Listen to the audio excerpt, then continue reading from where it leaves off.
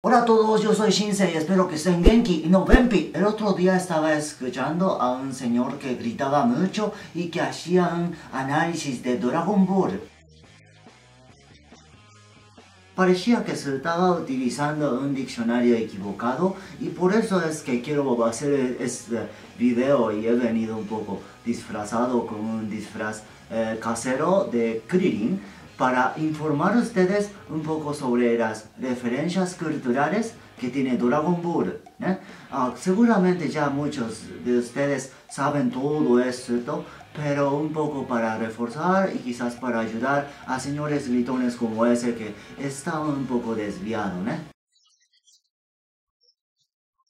Really, nigga? Quien creó este mundo fue el señor Akira Toriyama y ese señor es japonés, pero utilizó muchas referencias de la cultura china. Empezando con este libro de acá que se llama Viaje al Oeste, las aventuras del Rey Mono. Este es un libro muy importante dentro de la cultura china. En este libro nos cuentan la historia de un monje que va en peregrinación a recoger unos unos textos budistas y va acompañado por un mono muy travieso, muy medio malvado y también un chancho y un capa. En todo el viaje viven muchas aventuras y el mono va aprendiendo a ser mejor persona. Es un libro del que se han hecho películas, series, todos muchos niños en Japón, en China, en toda Asia creo, conocen de la historia de Viaje al Oeste. Y el nombre de este mono es Sun Wukong y sirvió como referencia, como base para Son Goku. Los dos tienen Bakuro, los dos vuelan en nube voladora,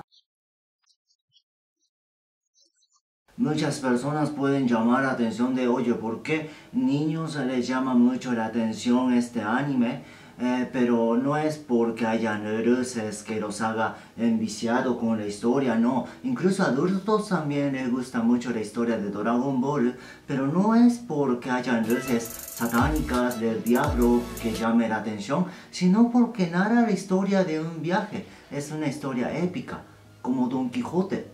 Es una historia de travesía donde eh, los personajes empiezan en un punto y para ir a otro punto y en ese viaje tienen muchas transformaciones, muchas conversiones internas y eso es lo que le da mucho de encanto a historia. La historia gusta porque siempre tenemos ese deseo de viajar, ese deseo de soñar. Otras referencias de la cultura china, por ejemplo, está en el traje de Urong, que por cierto Urong, viene del nombre de un té chino y su traje es el traje típico durante la época de Mao Zedong. También está el traje imperial de los Qing, este traje que utiliza en algún momento Gohan. ¿eh?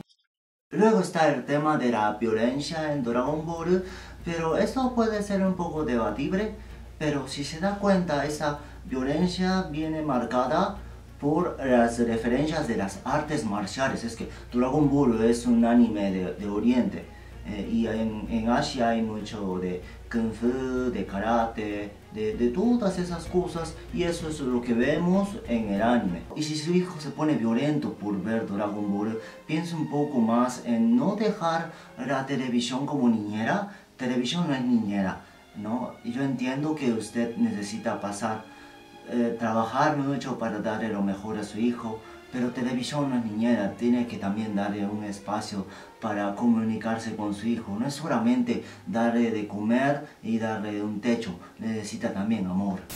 Ese señor Britón parece que no, no ha aprendido muy bien inglés, ni español, ni japonés, porque utiliza una traducción un poco rara o quizás su diccionario es un diccionario bamba. Él dice que Dragon Ball significa bestia en venida, pero yo sé que Dragon es Dragon y Ball es Ball o pelota. Entonces yo entiendo que para ese señor Dragon significa bestia, tendría sentido, y Ball significa en. Es un poco raro, ¿no? Porque yo me imagino a él cuando está hablando con su sambo, está de hora, estás en Bora, ¿no? Cuando quiere decir si está viniendo. De otros nombres, ese señor lo tiene todo mal. Por ejemplo, el creador, el señor Toriyama, ha utilizado muchos nombres de yasai, de verduras. Zanahoria en japonés es ninjin, pero en inglés es carotto. Y le pusieron una K adicional y salió kakarotto. Vegeta, radish. Saiyajin viene de yasai, que sería verdura, y jin es de persona, se escribe así. ¿eh? Jin, pero parece persona, ¿no? Algunas personas traducían Saiyajin como verdura, pero no está bien eso. Saiyajin sería persona de Saiya. La traducción correcta sería Saiyajano, Saiyanense o algo así, pero no suena muy kakoi, no suena muy bonito, ¿no? Por ejemplo, si usted quiere decir uh, peruano, tiene que decir perujin.